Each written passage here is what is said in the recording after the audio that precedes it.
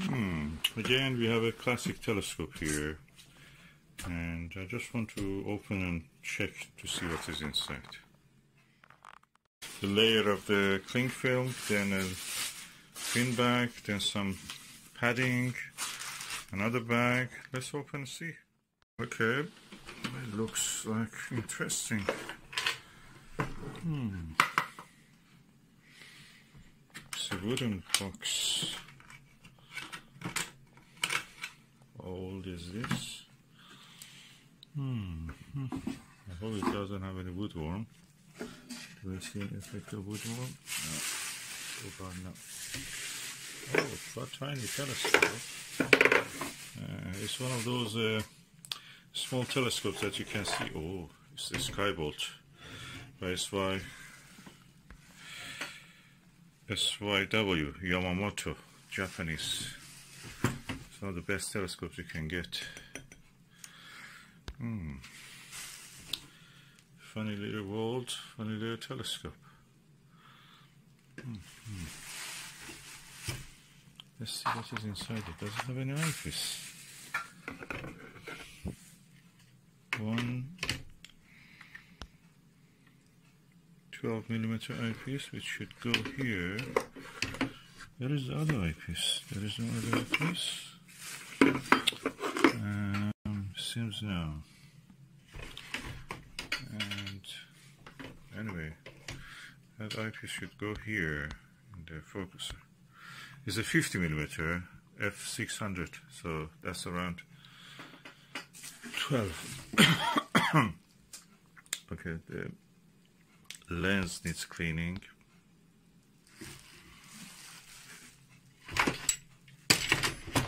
Mounted alright. Okay. Just will clean the lens and then we'll pack it up for setting up during the daylight test. It's Alta's image, as you can see. Okay, as you can see, I've removed the lens. It's a 50 millimeter lens. It looks like a doublet.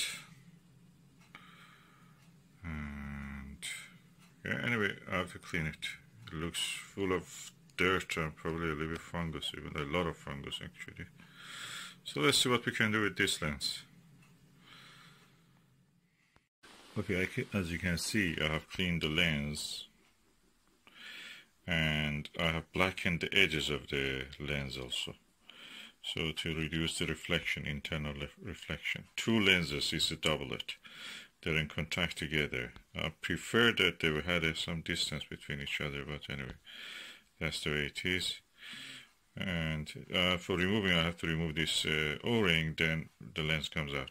You have to be careful if you're doing similar thing uh, which orientation the lenses were in contact together. So this lens is now ready. I'll put it back. The focuser and the focuser knob are really smooth. They're made of metal easily. Uh, move the tube.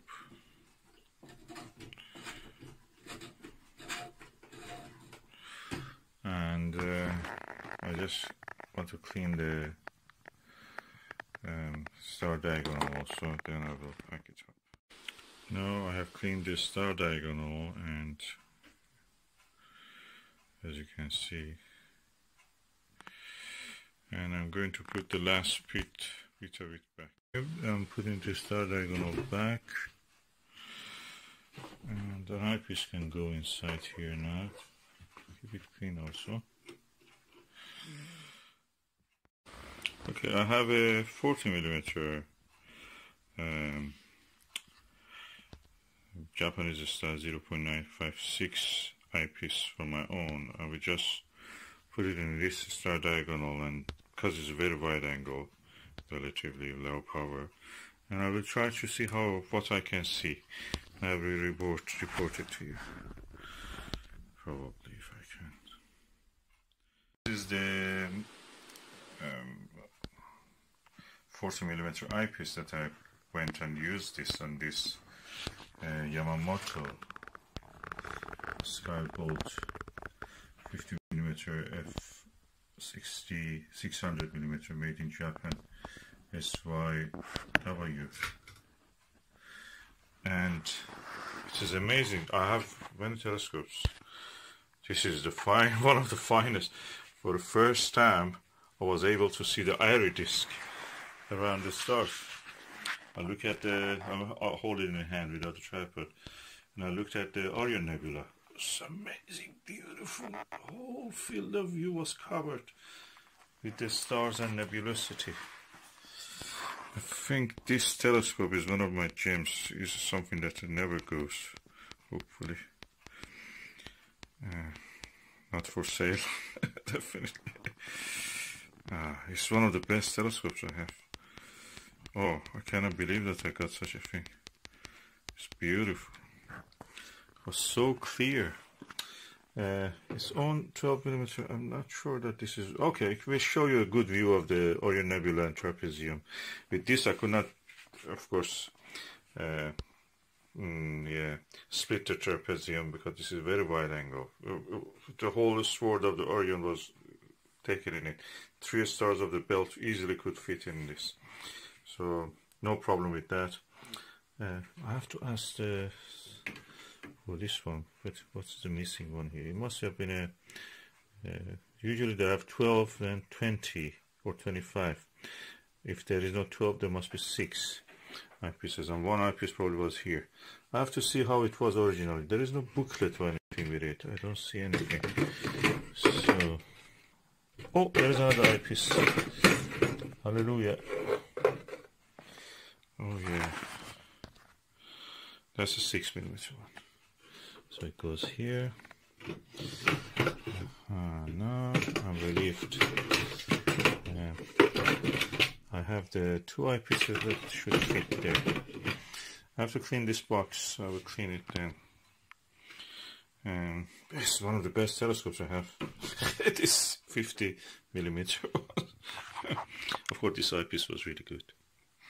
And I have a eyepiece uh, uh, adapter so we can I can use the one point quarter inch eyepieces in this. That will transform this to a beautiful gem hopefully.